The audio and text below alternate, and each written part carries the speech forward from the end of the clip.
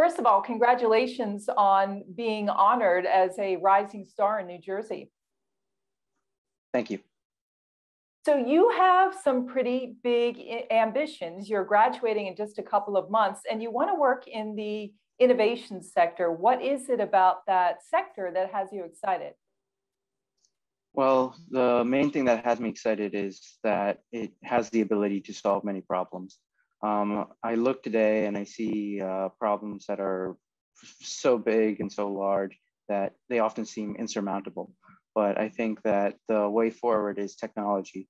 Um, uh, recently, I was speaking with a professor of mine who gave me a, a economic philosophy book.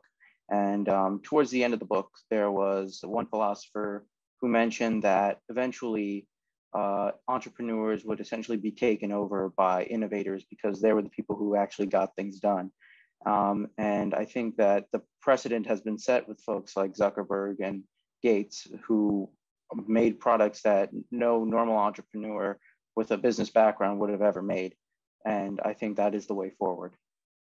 Well, I have to say, you've certainly done a lot of work to prepare yourself for the future. Tell me a little bit about the work you've done at this small business center where you are right now helping New Jersey small businesses with COVID relief.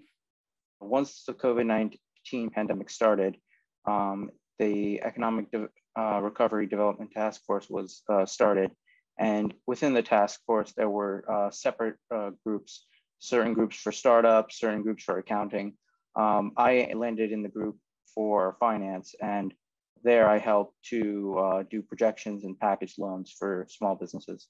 I also want to point out that you have a lot of investment experience too. It's pretty uh, impressive. Tell me about the portfolio you're managing. So on campus, I am a member of the Roadrunner Financial Group, and there uh, I help to manage a investment portfolio.